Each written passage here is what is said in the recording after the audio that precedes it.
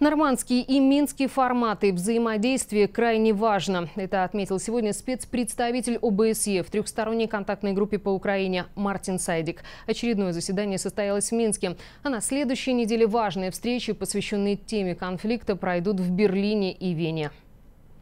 В понедельник в Берлине состоится встреча нормандского формата э, в рамках контрольного механизма.